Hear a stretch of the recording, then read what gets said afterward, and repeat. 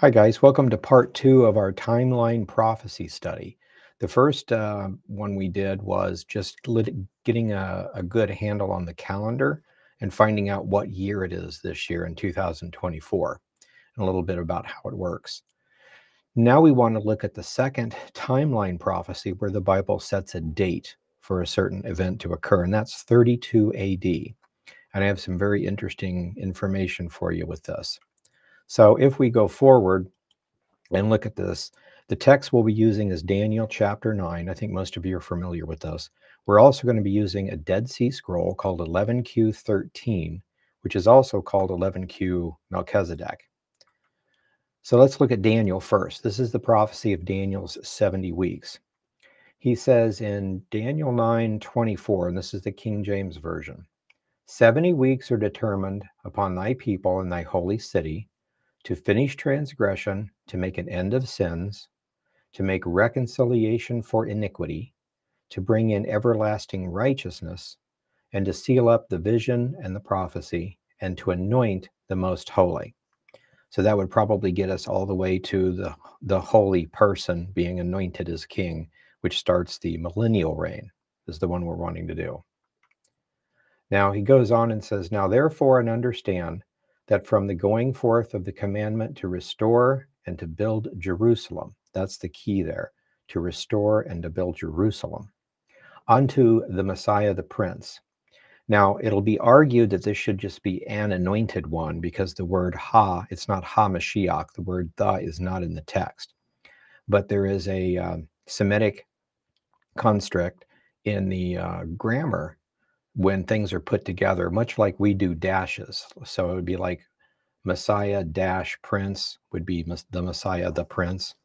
Uh, they would use a line above the word instead of under it, but same basic thing. There's only one way you can translate this as the Messiah or the anointed one. So from the commandment to restore and build Jerusalem to when the Messiah, the Prince, comes, shall be seven weeks and three score and two weeks. That's 62 and then the street will be built again and the wall even in troublesome times. Some people ask why the seven, the 62, and the one? Because number one, there's seven weeks from the commandment to when the entire thing is finished. They had to stop, it was 49 years, but they had to stop because of a commandment, and it just took a while. And then they built the street, uh, the buildings, the temple area, the city, the wall around the city, and all that in, in 49 years. And then there was three score and two weeks from that point to when the Messiah comes. And then there'll be another one. And we could talk about the gap that's in between, which is very clearly listed here, but that's for another study. So that's what's going to happen. So let's look at when this commandment was given. In Nehemiah chapter 2, verse 1, it says, It came to pass in the month of Nisan, which is our March, in the 20th year of Artaxerxes the king, and you can look this up and find out when he became king, uh, wine was set before him, and I took the wine. This is uh, Nehemiah talking, and gave it to the king. Now I had not been before time in his presence. So he goes there and, and he's upset, and the king asked him why, and he talks about his city being destroyed and asked the, the king to, you know, help him rebuild it or allow him to do that. So in verse 5, it says, And the king said, If it please, I said to the king, If it please the king, and if thy servant has found favor in thy sight, that you would send me to Judah unto my city, my father's sepulchres, that I may build it. So he's asking permission to rebuild the temple, or the city rather. Um, so a letter was sent to Asaph, the keeper of the king's forest, that he may give timber and make beams for the gates of the palace uh, which uh, is uh, for the house, for the wall, for the city, and the house that I shall enter into. So they're going to construct all these things. So the places for the people to make their own houses so they can live, and then the city being taken and the wall and that kind of stuff. So we can look this up, and this mar this date is given March 14th, 444 BC. And we'll talk more about that in a minute. But if we go back from or continue with Daniel then, so therefore, and understand that from the going forth of the commandment to restore and build Jerusalem, 444 BC, March 14th, unto the Messiah the Prince shall be seven weeks, three score, and two weeks. Okay, so we're talking about 69 weeks of years. Uh, 70 would be 490. So we're subtracting that last week. It's 493 years. That should make sense. Okay, so after the three score and two weeks, the Messiah will be cut off. So the very next day, usually, is the way this stuff happens to the day, all the prophecies. But the Messiah is killed after that 69 weeks, the seven and the 62. But not for himself, but for the sins of the people. The people of a prince shall come and destroy the city and the sanctuary. We know that happened with Titus in 70 AD. The end will be like a flood, unto the end a war of desolation is determined. So this prophecy is saying that there's a gap, and after the Messiah dies, and we know historically 40 years later there was the destruction of the temple, then there was some skirmishes, then there was the Bar Kokhba rebellion in 135 and then the entire country was dissolved. Okay, so for the next verse to happen, the country has to be reformed, which is 1948. They have to take back the Temple Mount, which is 1967.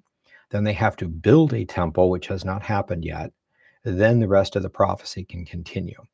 So we can see here, just by talking about between Messiah and the destruction of the temple, there's at least a 40 year gap. So some people try to teach there's no gap in here, but it's very, very clear. So being cut off is when the Messiah dies. So there has been some controversy on maybe not when the Messiah dies, but the week before, based on the Passover and dates, and we'll get to that in a minute. But this specifically says that after the 62 weeks, he's cut off. We're talking about his death. So let's look at the calculations. And calculations for this date are given in several places, each with the same idea, same ending date. Ancient church father Julius Africanus wrote a book on the weeks of the prophecy, specifically about this prophecy. And so he relates how to calculate it basing, based on the uh, Jewish calendar, the way they do things, and the Roman calendar they had at the time. So he wrote this about 200 AD. Now, Sir Robert Anderson wrote a book called The Coming Prince in 1887. It was published. He did the same thing, only he related it to the Gregorian calendar, slight difference. So anyway, he does this. Now, you'll probably hear um, video teachings from Chuck Missler, Grant Jeffrey, and many other people saying the same thing in several places. But they're talking about this particular date, and they all agree on this. So let's go on and look at this. So the calculations are as follows. There's 70 weeks which equals 490 years. You subtract the last week for a future tribulation period. That leaves 483 years. There's an ancient Jewish prophecy code that sets the dates using 360 days per year. Now, people ask why a code? And most of the prophecy teachers have said, don't know. We just noticed the code. We don't know how it started or anything. Well, now that we have the Dead Sea Scroll calendar, Again, we know how it started.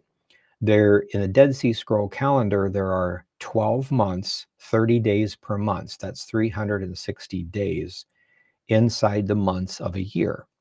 And there are four days, the what they call Tekufa. It's this the equinoxes and the solstices, the day that's not a full day of spring and summer, but in between.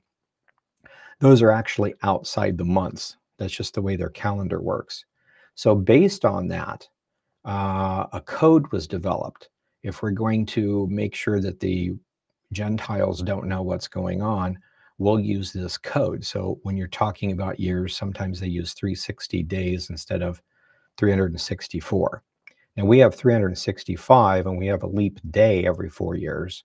They have a leap week every um, five to six years. So it ends up being the same over a large amount of time. So there's the actual true tropical year, and then there's how calendars work, and each calendar works differently. So that's what where that 360 code thing came in. So we're going to look at that in the next three uh, uh, videos. So 483 years, which is the whole time period of seven years minus a tribulation, times 360 days per year with that code is 173,880 days. So when we go forward with this, that equates to if you take 173,880 days and put it on the Gregorian calendar, which is 365.25, that comes out to 476 years and 21 days. Okay, so 476 years times 365 and a quarter days per year comes out to AD 31. Now, in normal math, there's uh, negative one, there's zero, and then there's positive one, and you go forward. On calendar systems, specifically Gregorian, there is no zero year. So when you're crossing from BC to AD, you always have to add a year because it's uh, changed that way. So 31 becomes 32. Since there's no zero year, we add one year. This brings us to 32 AD. Now, adding the remaining 21 days to March 14th is uh, brings us to April 6th, AD 32. Now, a couple points about this date. Um, number one, people ask, well, how do you know March 14th was the exact date in which um, the decree was given? There are some, or at least were, some old documents that gave us that date. It's in the 20th year of Artaxerxes, so you can get it down to the year, and it says it was in the month of Nisan. So you can go back and figure out that that's always March, uh, depending on when it starts or if it's at the very beginning or very end of March, but usually March. Uh, so, but to pinpoint the 14th, there are some dates. Chuck Missler, again, Grant Jeffrey, many other people have talked about these. I have not seen these. I don't know if they still exist or not. For my purposes, I don't really care for the date exactly. Uh, just the fact that it's a prophecy. And if, if you believe in prophecy, the dates would have been perfect anyway. Much like in Exodus chapter 12, it talks about uh, when the Exodus occurred, it was fulfilling the 400 year prophecy to the day. So that's important for us to know God is punctual. So going on with this, people will say, but April 6, 32 AD was not a Passover when Messiah was killed because it was not a full moon. Well, again, the Pharisees have went uh, currently the modern Jewish calendar is based on a Pharisee calendar, which is a lunar calendar and it goes by a new moon and a full moon. The old calendar goes by a uh, solar calculation. So let me show you this. Um, on our next slide, uh, this is our Dead Sea Scroll calendar from dsscalendar.org. And I just pulled up, I, I went from this year backwards until I found a year that works. Everything's always going to be give or take three days more or less. It's got to be in the same week or we get a leap week. So it stays fairly accurate. But the uh, Tekufas are always on a Tuesday. The first year, first day of the new year is always on a Wednesday. You can do this on a 364 day calendar. 364 is divisible by seven, exactly 52 times. So a full week, 52 times. Ours is 365, so our weeks are all messed up. This one is, is not. So it starts in March of 23, and the 14th of Nisan is always Passover and that's April 5th. So Passover starts in the evening of Tuesday and goes through Wednesday, and then the, the 15th, which is the High Holy Day, which everybody has to be off the cross by, starts on the evening of the 15th or in the evening of Wednesday here. So what we're going to see is Jesus on the 14th had a Passover with his disciples. And then on the morning of Wednesday, he was crucified and put in an airtight tomb. Well, this means on a Gregorian calendar, he's crucified on April 6th, which is that Wednesday. And it was still uh, the 14th of Nisan on Tuesday, Tuesday and Wednesday night. So it fits perfectly. And then he was in the grave for three days and three nights. So that is uh, Wednesday night to Thursday, Thursday night to Friday, Friday night through Saturday. So sometime after Saturday at dusk, when the sun went down, he resurrects. Now, that Sunday when they come in, which would be April 10th or would be the 19th of uh, Nisan, is when the stone was already rolled away and he'd been resurrected. So it fits perfectly with us. But I wanted to make mention of this because when Chuck Missler and Grant Jeffrey and some of these other guys were asked about the April 6th dilemma, the answer was don't really know. It doesn't seem to fit, but the numbers are specific. The decree was the decree One plus one is two. I mean, you it's you can't get around it. It comes out to April 6th. And the answer is we don't really know why, but that's the date given. Something happened if it wasn't Passover.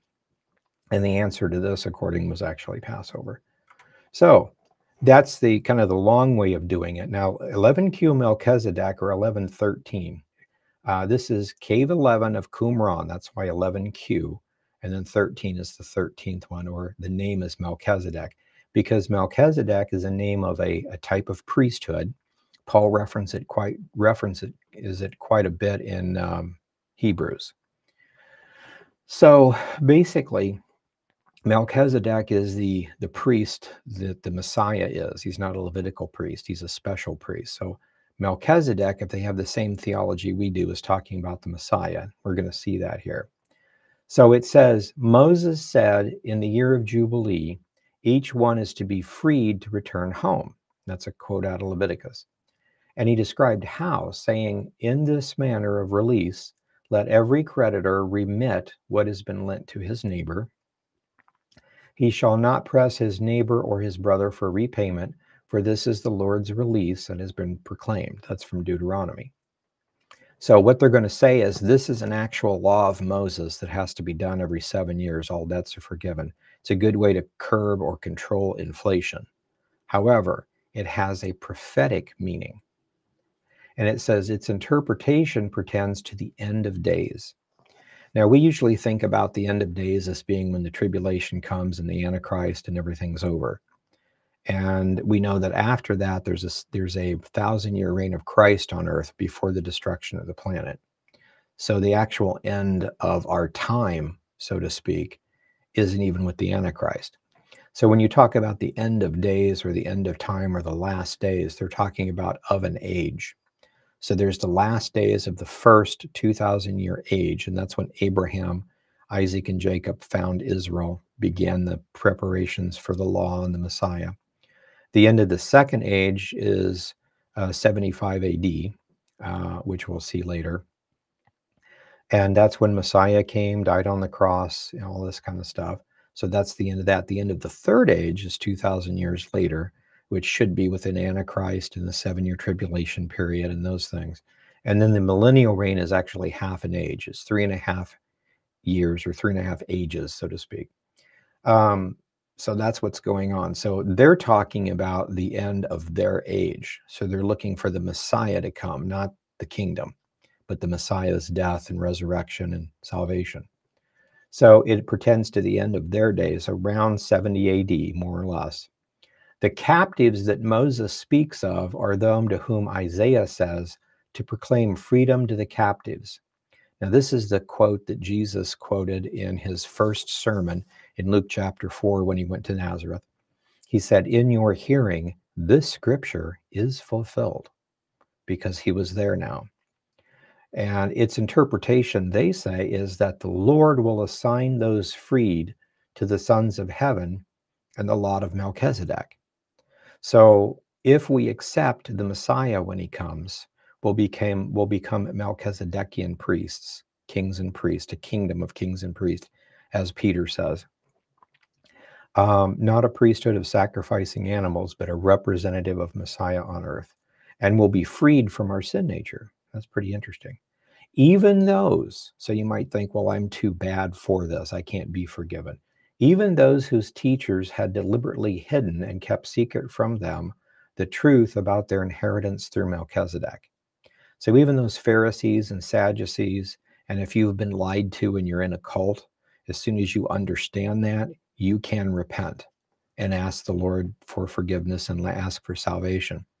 And it will be granted to you. You'll become part of the sons of heaven of the lot of Melchizedek or to put it in English, run it through Greek and English, a Christian, a follower of Christ. Okay, so this is interesting. Look very closely at our dates. The Lord will cast their lot amid the portions of Melchizedek and will make them return. That's teshuvah, so that could be return or repent. Make them repent and proclaim freedom to them. Their freedom comes only with repentance. Thought that's interesting but it frees them not from their money problems. but it says to free them from the debt of all of their iniquities. Their sins are forgiven. That's fantastic, and you're granted eternal life. Well, when does this happen? This event will take place the first week of the Jubilee that occurs after the ninth Jubilee. So when we get to look at this, an age is 2,000 years. It's made up of four onas of 500 years apiece. An ona, a 500 year period, is made up of 10 jubilees. A jubilee is 50 years. And in each jubilee, there are seven shmitas or seven weeks, seven sets of seven years, which is 49 years. And then there's a jubilee year. So, what this is saying is in their time period, which ends in 75 AD, it's exactly one jubilee. Otherwise, they'd say, um, if they said it's in the ninth, after the ninth jubilee, uh, one week and two years is what they would say. And if they just said one week, then it's a seven year period even. So in this case, there's 10 jubilees that finishes out their ona, and it's in the 10th jubilee. So if it ends in 75, you back up 50 years, that's 25 AD. And then one week of years later, 25 plus 7 is 32. So this event where the Melchizedekian priest will proclaim freedom to us and take the debt of our iniquities will occur in 32 AD. Now, it doesn't give us the date, and you should know the prophecies and the, and the festivals. So you would probably guess Passover of that year, but whatever, it doesn't matter. 32 AD is the date that they're given. And this is fantastic. They may have explained this based on Daniel 9 that we just read, or maybe they got it from the Holy Spirit, but either way, they were accurate. And again, give or take a year, because calendars are that way. I'm just showing you, though, if you had the right date and did it right, you could come out to the exact year and even the exact day if you get your calendars straight. So now let's let's continue here just a little bit. Now the Day of Atonement is at the end of the 10th Jubilee. That'd be 75 AD for their age. When the atonement is made for all the sons of heaven, atonement means everything is finally finished. By that time period, you've had the destruction of the temple in 70 AD. There's the stopping and the shutdown of the Essene temple in in uh, Egypt in 73 AD and then the uh, Council of Yavne agreeing to stop everything, temple sacrifices in 75, which is the exact end of the age. Now, Bar Kokhba came along and tried to revive it many years later, but it fizzled out. So that, that happens a lot. But the end of the age is 75, and that's when atonement is made. The evil Sadducees and Pharisees, and if you go back and read Eusebius and Josephus and those other historians, they were really, really bad the apostasy had hit really full force. Okay, so it says at the end of the 10th Jubilee, which is AD 75, the atonement will be made for all the sons of heaven, for the men of the lot of Melchizedek. This will be the time of Melchizedek's day of grace. So the age of grace will officially start, or the the the and they're called different names. The first age was called the age of creation. The second age was called the age of Torah. The third age was called the age of grace. And then the kingdom age is that last, only, only lasting 1,000 years, that last piece. So in this case, this is when the age of grace begins, according to them. So very, very interesting. Now it goes on and says, This day of peace, it's also called the day of peace, is about which God spoke through Isaiah the prophet when he said, How beautiful are the mountains, uh, are the feet of the messenger who proclaims peace, the messenger of good who proclaims salvation, saying to Zion, Your God reigns. Now, this is a quote out of uh, just, just verse 7 of Isaiah 52, but they explain what this means to them in their theology. So you've got beautiful mountains and the feet of a messenger who proclaims peace. Got to figure out who this messenger is, and God reigning on Mount Zion and salvation coming. So they say its interpretation, that verse, to them means this The mountains are the prophet's predictions about the messenger. The messenger is the one anointed or the Messiah, of whom the, by the Spirit, of whom Daniel said, until the Messiah, the Prince, will be seven weeks.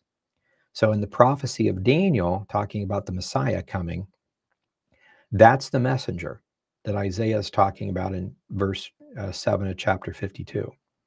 So, how beautiful are the prophet's predictions about even the feet of the Messiah who proclaims peace, the messenger of good who proclaims real salvation, saying to Zion, Your God reigns. Now, this gets really interesting. Uh, the next part of this says, He is the messenger, the Messiah, whom Daniel said, the Messiah, the anointed prince. He is the messenger of good who proclaims salvation. He is the one to whom it is written when it says, to comfort those who mourn. That's Isaiah 61 again, where Jesus said it was fulfilled in your hearing. To instruct them in all the periods of the ages in truth. That's fantastic. One of the things Messiah did, apparently is not recorded in the Gospels, is to instruct us or remind us of the true calendar, all the periods, onas and jubilees of the ages, the true calendar. Very important for us to know. Otherwise, we guess at prophecies. Zion is those who uphold the covenant, those who love and wait for Messiah, those who turn aside from walking in the ways of the people, the sinners. But no, look at this your God, where it says your God reigns, the Messiah is saying your God reigns. Your God that he's referring to is Melchizedek, the Melchizedekian prince or priest. So basically, this is saying that they believe the Messiah is God incarnate. Very, very important theology. Uh, just the same theology that Christians have today is what, what the ancient Essenes had, according to their own words. And he saves them from the hand of Belial, is another word for uh, Satan. Now, if we went on with this particular document, it's fascinating because it begins to talk about a time of the the establishment of the kingdom and the rapture and things like that. And it begins to set, it looks like it's going to try to set dates just like this, but that's where the text at. We've got the beginning and the ending ripped off. We've just got the middle piece. But thank the Lord that we have this. So to conclude, 11Q Melchizedek says the age ends at 75 AD. A jubilee is 50 years. So the ninth Jubilee ended on March of 25. So March of 25 plus a seven year period, one Shemitah, one seven years of, of weeks, one week of years, comes to March of AD 32. March and that where, where we saw was uh, March and April. So uh, that time period, the beginning part. So their text shows us that it happens in March or in April real close to that, the beginning of the year in uh, AD 32. So fantastic. So Daniel tells us AD 32 down to the date. According to the Dead Sea Scroll calendar, that was the exact day that Messiah died. And according to 11Q Melchizedek, it's supposed to be that year sometime. So we've got all this corroboration. 32 AD is the coming of, of Messiah's first coming. So we'll end this here. And with the next study, we'll look at the next timeline prophecy and see it's done the exact same way on the calendar system. And we'll see 1948 as an important time that a certain event occurs. Thank you.